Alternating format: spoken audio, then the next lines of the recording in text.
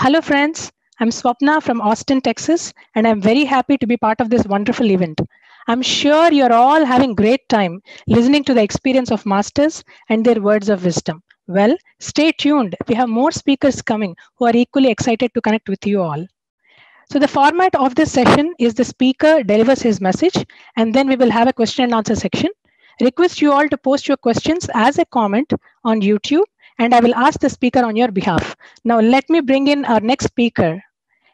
He is an agent of transformation, passionate about life, inspiring and helping others to live the life they desire.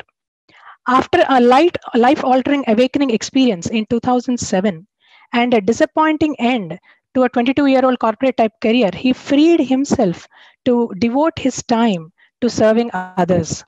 With his passion for seeking to understand why we do what we do, he immersed himself in reading, training, studying with some of the world's best in the areas of personal growth and transformation, relationships, health, spirituality, and leadership.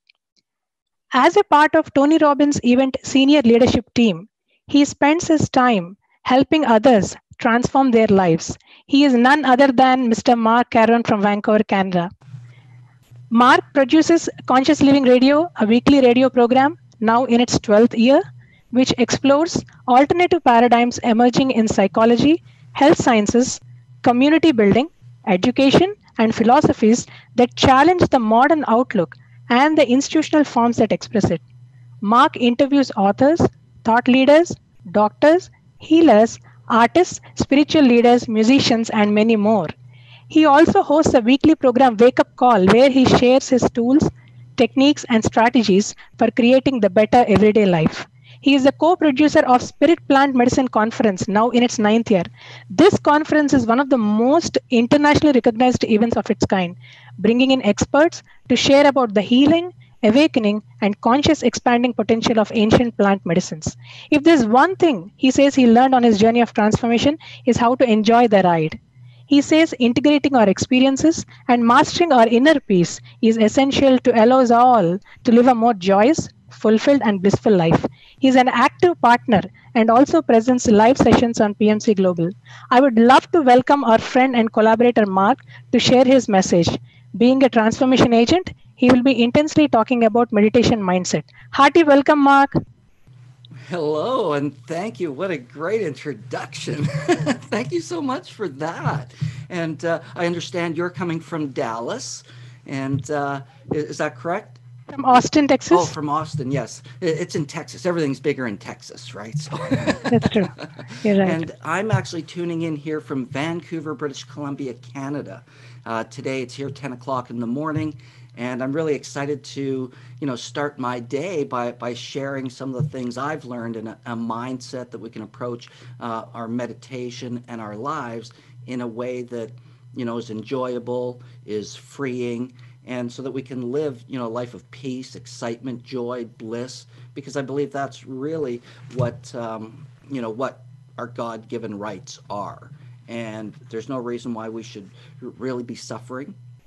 And so I'm going to just kind of talk about some of the things that I've learned. And, you know, when we talk about meditation, we talk about mindset, people might go, well, hang on, that's kind of strange. Aren't they different?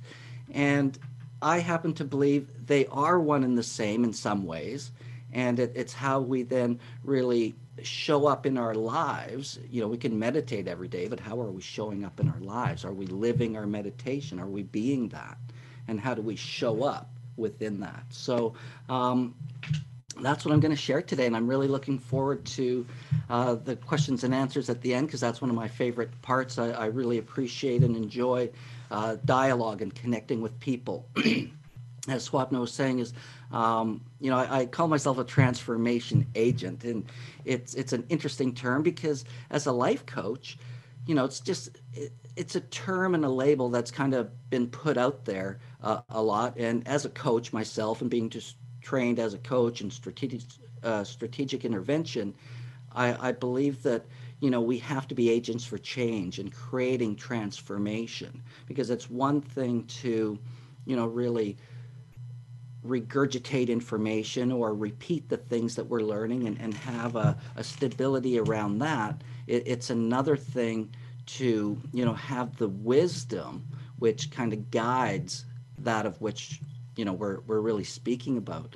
So what I want to do is go down that road and, and talk about, you know, our mindset and what that really is and then how that relates to our meditation and of course how we can in, integrate because integration and this is something i spoke of um, when i first met Patriji and and and pari at the cosmic reset back in uh, i guess it was last august in madison virginia and it, it was really quite exciting and i talked about integration because one of the things we do with our organization here in Vancouver is called Conscious Living Network, uh, and Conscious Living Radio is our one of our radio programs.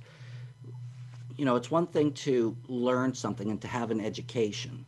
You know, it's another thing to have an experience, which I believe is the best teacher.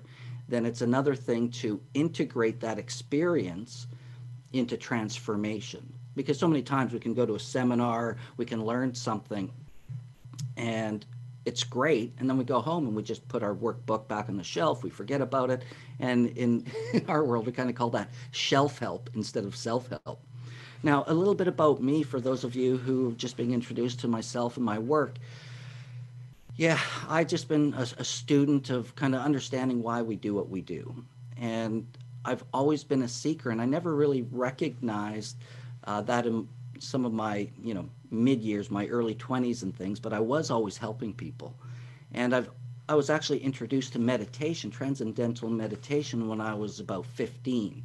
And, you know, I, I practiced a little bit. I, I dabbled. I, I didn't have a full on teacher or anything. I was just introduced to it. And I was fascinated by the things I had learned with the powers of the yogis and what they could do. And then I got distracted. You know, being in the Western world, it, it happens a lot where we're very much in our mind. We're about success and achievement and wanting to get stuff done. Um, and, you know, so I went down that road. I thought I should have a good career, a good job, make steady money. And really, you know, these were societal things that were put on me really by my family, by school, and by the world around us in the West and it was really interesting because you know as an entrepreneur when i look back at my younger years i was the kind of guy i would want to go cut the neighbor's grass. I would like i'd want to go collect pop bottles shovel driveways do whatever i could to make a buck. And my parents it was interesting because they didn't like me doing that they didn't encourage it. They they actually had a belief system around that that's like, oh, they didn't want the neighbors to think that they couldn't support their family or their children, which was certainly not true. But this was their belief system. This was their mindset.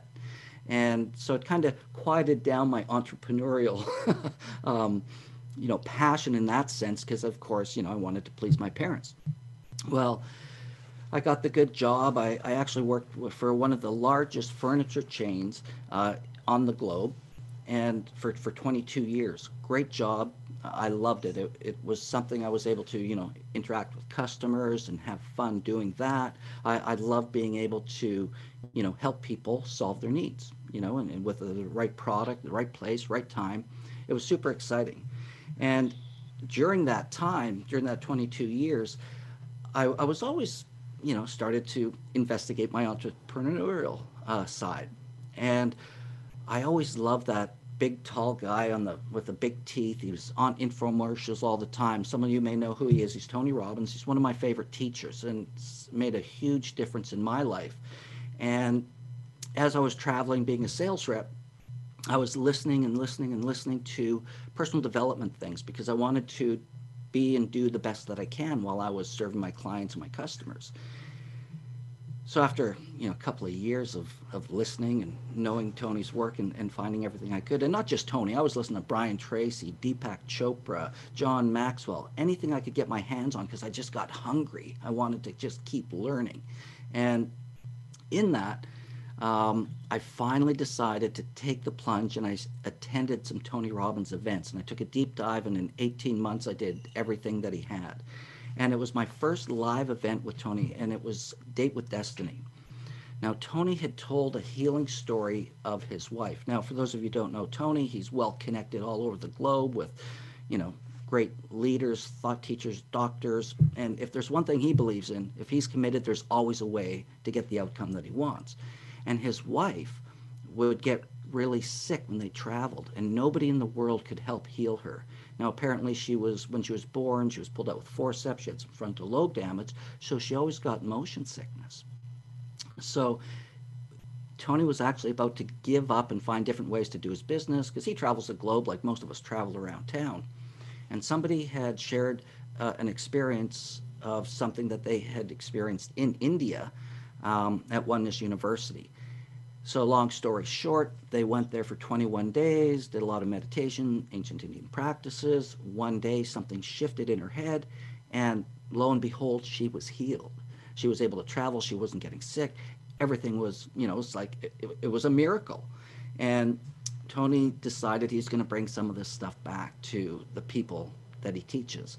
And he brings back, and we share a, a chakra dhyana and a oneness blessing, um, Diksha at, at this event. Now, this is something that I found really quite fascinating because as I'm in my head, my mindset's there to learn everything.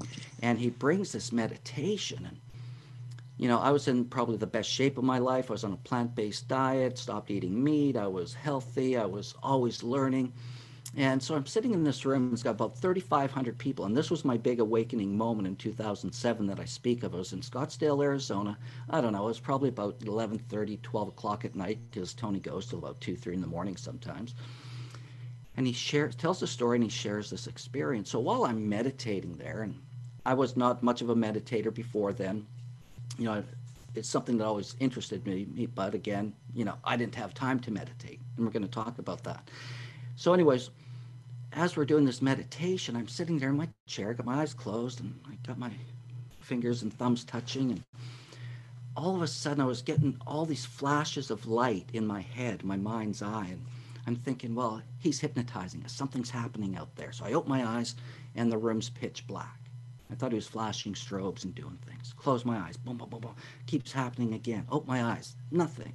Close my eyes. Go back into the meditation. And next thing you know, I was launched out of my body and as much as I can say into the other side. I saw what I you know what I saw I can only explain for myself, but it was it was really powerful. It was just a bolt of light running through beginning to end of the universe. I could see a connection from my third eye from my head that was feeding into this mainstream.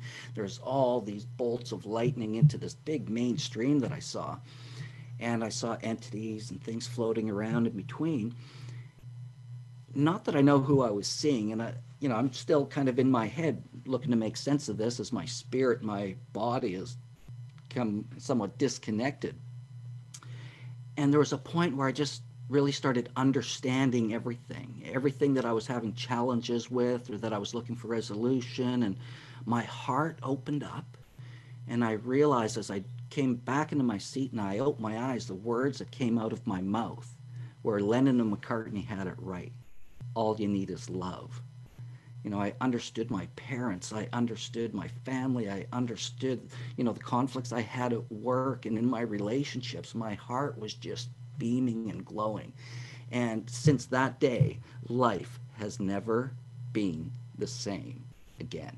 It's just, it fundamentally changed. So that was, you know, kind of the launching pad of, you know, really a, a love affair that I, I developed for uh, ancient India and, and the practices of meditation, the yogis, and you know, if we would call it Hinduism and things 5,000 years ago. And I read as many books as I could get my hands on. I read the Bhagavad Gita, some of the other Gitas, you know, autobiography of a yogi, science of self-realization, and these things just opened my eyes to, you know, the powers that we have within us just as human beings. And meditation, is a really big part of that. And I also believe our mindset is, and our mindset is really how we show up to things. And I, I loved it when I met, got to meet Patriji last year. He actually gave me my spiritual name. I don't know if he remembers what it was, but it was Madhya. Walker the middle path, Walker the golden path. And I was like, wow, that, that really kind of explained where I was in my life because I felt myself in somewhat of a neutrality. I could get upset or heated or believe or disbelieve, or I could take the, you know, the other side and I would kind of go, ah, okay. And I just kind of always walk the middle. And that's how I was defining some things with some of my friends at, at the time because I was just in this new neutrality. And when Patriji gave me that name, it, it really landed and felt right. So I was grateful for, for that and just grateful for being part of the uh, PMC Global Society, the, the PMSS Society as well, and happy to be, you know, doing our show, The Wake Up Call, um, every Monday morning at 9. Now, that aside, really, it got me to ask some questions. And really, it's, you know, if we're going to talk about what is meditation, I think if you start asking, you know, different people, you may very well get some different answers. Yet the bottom line is it really becomes the same. And before I talk about meditation as well, let's talk about consciousness because consciousness is related to meditation. Absolutely. And, you know, running a, an organization called Conscious Living Network and a radio program called Conscious Living Radio, the question comes up well, what's consciousness? Not everybody is conscious, not everybody's spiritual. And what I like to do is take the spiritual side out of consciousness um, and, and talk about consciousness at its core, which the first thing is really about awareness. And our consciousness is our awareness. And we can go into the spiritual side of that as well. However, for the purpose of what I want to share today, I want us to be aware of who we are, why we do what we do, what's going on, what we're paying attention to, what we're focusing on. Because whatever we focus on becomes our reality. And our focus creates emotion, it creates energy. Whatever we focus on expands. And if we have an awareness on what's going on, because sometimes, you know, we could be having a spat with our partner and we're not paying attention to the good things that are happening happening right next door. You know, there could be a flower blooming, there could be a hummingbird out there feeding off the flower. But are we paying attention to that? We're not because our awareness isn't on that. And our focus is actually on something else. And so this becomes related to mindset as well as the meditation, which I my goal is to explain that to you here and, and share with you something that hopefully makes a difference. So, you know, it, in the basics of meditation, it's really just the act or, you know, giving your attention to only one thing. It could be a religious activity or it could also become just a calm, relaxed state. It's a serious thought or study or a product. So, you know, you can meditate on one thing, you can meditate on nothing, you know, and this becomes the, the beauty of meditation. And I love Patriji's meditation that, that he taught us in Virginia. What I loved about it is it was so simple because you can talk to many different meditation leaders and they can get a little more complicated. I did some uh, Tibetan Buddhist meditations and some Green Tara stuff. And that was a complicated meditation because we had to pay attention to all sorts of things in terms of color and mantras and the way the light was all moving through. And that was a, a, more complicated process because my awareness was focused on so many things to do. And we in the West have this mindset of doing things right. It's got to be perfect. Yet I believe there's perfectionism in all imperfection because perfection really becomes you know, kind of a disease because what's really perfect anyways? You know, but, but Patriji, uh, if I remember correctly, and I know he'll correct me if I'm not, but it, he was talking about having your hands and your legs crossed, your back straight, eyes closed, and to breathe. It was just simply beautiful. And then listen to his flute when he played his flute. It was one of the most beautiful meditations I was part of because of that simplicity. And I thank you, Patriji, for that and it's something that I share with with some of the people that uh, I work with regularly as well. Is let's keep our meditation simple. And you know, one of the best ways you can promote your mindfulness in a heightened state of awareness is really again with improving our focus and being relaxed. And I love a simple, simple meditation. And what I find interesting, and some people will laugh because I, I will tell them, I meditate at some of the most bizarre times. I'll meditate when I'm driving. I'll meditate even when I'm working. I will meditate when I'm walking. I, I, love to walk. I got a little dog that I have here. He's my best pal. I'll meditate when I walk my dog because when we do that, excuse me, I'm in nature. I can focus on the trees. I can focus on my dog being a dog, having his sniffs. You know, I can focus just on the beingness and, and being grateful for the opportunity that I have to a be alive on this planet and to experience, you know, the joys of nature. I'm not looking at what's going on, you know, bad around me. And that to me is a joy. When I say I meditate when I drive, there was a day that I always had a distraction. I would literally be distracted by music or radio or TV or friends. I had a hard time sitting still and sitting in silence. And now, one of the things I love most is silence and getting comfortable with your own inner silence. Because when we have distractions outside of ourselves in our meditation, which becomes part of the meditative practice as well, uh, I find it very important that we can just let that go. So, really, that's my thoughts on meditation. I'm not going to go deep into the practices of meditations because there are many different kind of meditations, from guided meditations, silent meditations, vipassanas. The Buddhists have different meditations. Different religions, cultures, and things have different meditations. And one of what I've always suggest and recommend is find which works for you because meditation, every meditation is different. And, and for me, I love the Indian chakra meditations. The chakra dhyana changed my life, and it's something I go back to regularly. So let's talk about mindset because I want to kind of break them down before I go into a little bit more of the details of the mindset or the meditation mindset. And mindset is simply a way of thinking. It's a mental inclination or a disposition or a frame of mind. It's a collection of thoughts and beliefs that actually shape your thought habits. Your thought habits affect how you think, what you feel, and what you do. Your mindset impacts how you make sense of the world and how you make sense of you. Your mindset, trust me, is a huge deal because it's related to who we are, how we show up in the world, our attitudes, our beliefs. And I think it's really important that we take a look at that because who are you? What do you stand for? What do you believe in? Do you have a purpose where you know who you really are? And in my experience as a transformation transformation agent and, and a coach and, and working in the worlds that I do, people don't know who they are.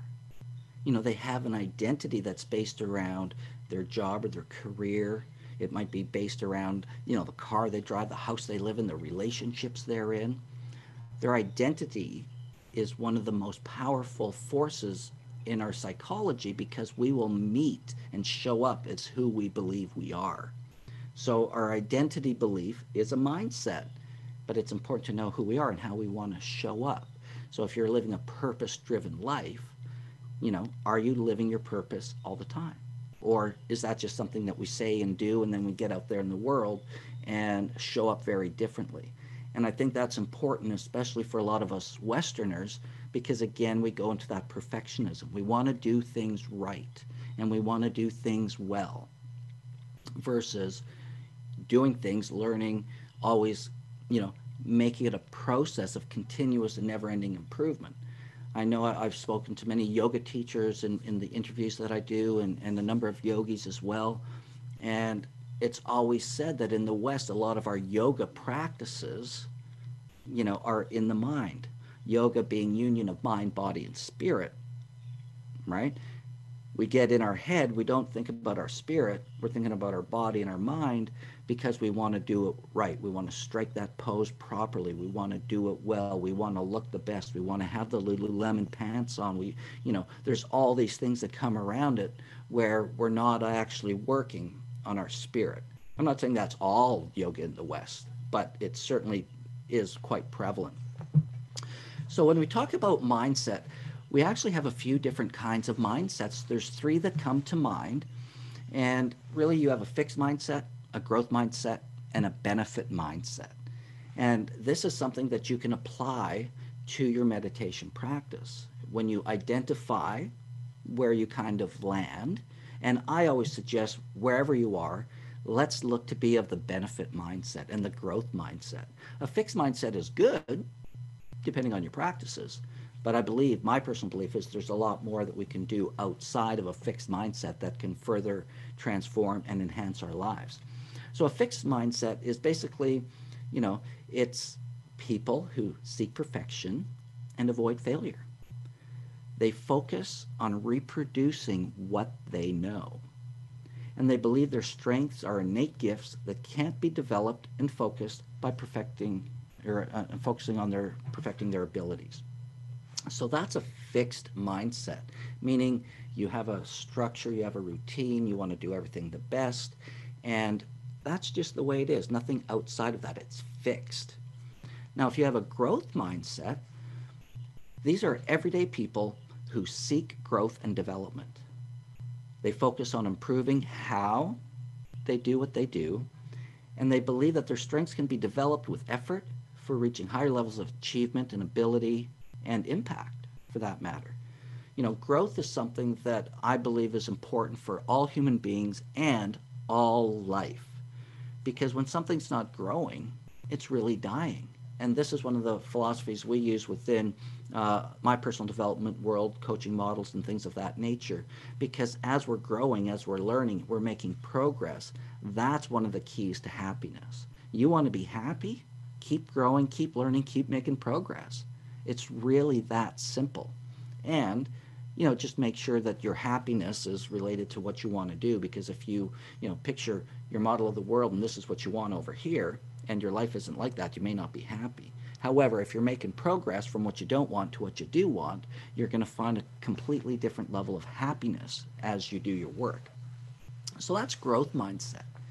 Now, a benefit mindset, you know, I would even call that a, a conscious mindset or a more conscious mindset than growth, anyways. And it's where everyday people seek to be well and do good. They focus on purposefully on why they do what they do. And in my introduction, you know, that's I was like I got fascinated by the study of why do we do what we do, what drives human behavior. And these people also believe in developing strengths and that meaningly contribute to a future of greater possibility for the world, the planet, for their friends, their family. And this again comes into, you know, a mindset of continuous and never ending improvement, of always growing. But what I love about the benefit mindset is that, you know, we think about others, we're conscious about the planet, about maybe where we shop, what we what we put in our body, how we interact with people? Are, are we interacting with people that puts their best interest in heart? Are we interacting with people thinking just of ourselves?